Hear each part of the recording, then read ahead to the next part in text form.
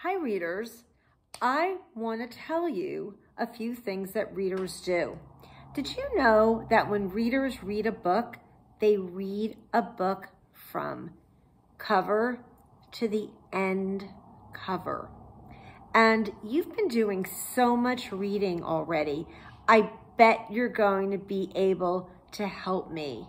So again, when readers read books, they read the cover first, the cover first, and then they read the first page all the way to the end. That's what readers do, and I bet you already knew that. So I'm going to show you how that goes in this book. Hmm. So sometimes when you look at a cover, you can also figure out what a book is about. So when I'm looking at this cover, I am seeing a lot of bugs. How many of you are seeing bugs? Let's see. I see a ladybug. Oh, I see some really creepy bugs. I'm not even sure what some of these are. I see some beetles. I bet that you probably know what some of these books are, some of these bugs are better than Miss Seltzer does. But I see a lot of bugs. So you're looking at this and thinking, huh, Miss Seltzer has a book with a lot of bugs on the cover. And you might be wondering what these words say. Well, right here, I bet you can already read this word. T-H-E. Say it with me. The. The. Then, do you think it says the bug book? You're close if you think it says the bug book because the cover has a bunch of bugs. That would make sense. That would be a good prediction. So I'm going to tell you, it's called the Beetle Alphabet Book. The Beetle Alphabet Book. Hmm. So do you think that's a good title for this book? It's a lot of bugs.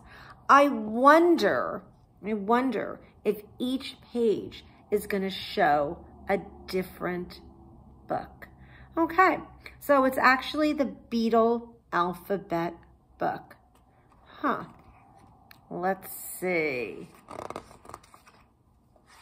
I want to make sure when I look at this book that the title makes sense. Let's see what this says. So I'm starting with this first page and now it makes sense. It's called an alphabet book, not just a bug book.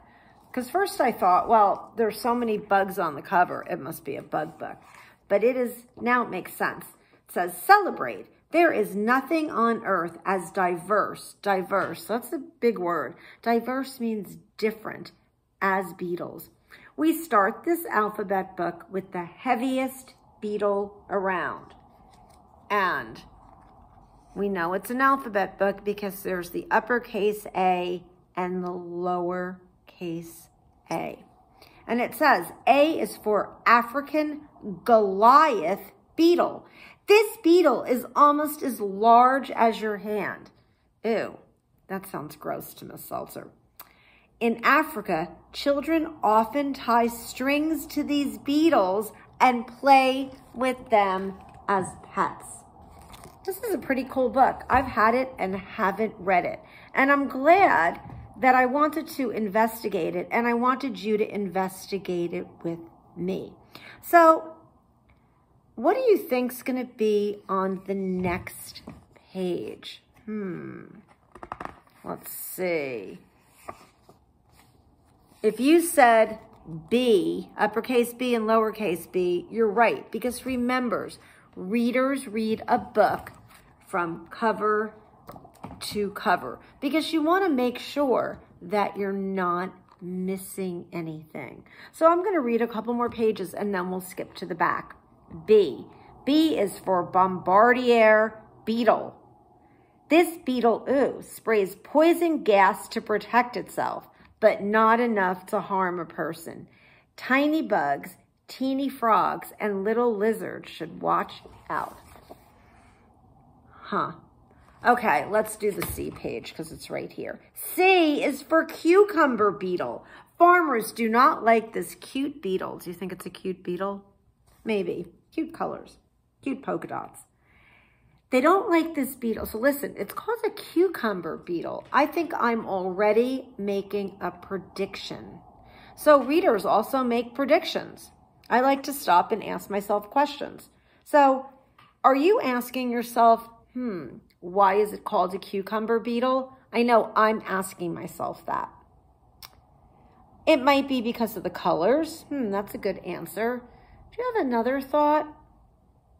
Okay, well, if you're thinking something else, let's check and see if you're right.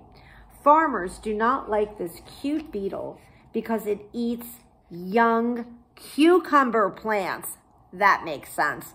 Its cousin Listen to this. It has a cousin called the potato beetle. What do you think the potato beetle eats? The asparagus beetle and the carrot beetle. I am really learning a lot. I've never heard of any of those beetles except for the potato beetle. Those beetles are also pests to farmers, which means the farmers don't like them because they eat their plants. So if I keep turning the pages, what do you think I'm going to find? I'm just going to skip, keep going. So we've already figured out this is a book about beetles and every page has a letter of the alphabet and a beetle that starts with that letter, a type of beetle. So I wouldn't want to skip pages because there's a, so much to learn in here, which is why readers read from cover to cover. And it's also good to look at the cover to figure out what a book's going to be about. Not always right. I wasn't right. I thought it was just a bug book. So let's go to the last page. Hmm. How do we know that this is the last page? How do you think we're going to know that this is the last page? Well, we've already discovered it's a beetle book but it's an alphabet book. So of course it's going to end with the letter Z. Z. So I'm going to read this page. Hmm. Welcome to the land of metallic beetles.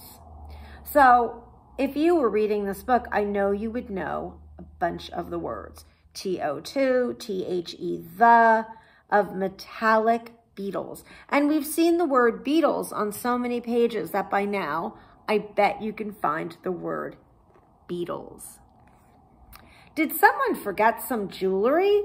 On this page, there is a zinc metallic beetle, a platinum metallic beetle, a gold metallic beetle, a silver metallic beetle, and a bronze metallic beetle. Z is for the zinc metallic beetle. And the word metallic comes from the word metal.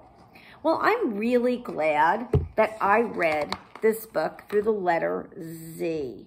I'm really glad. So that is why readers read from cover to cover or beginning of beginning of a book to the end of the book.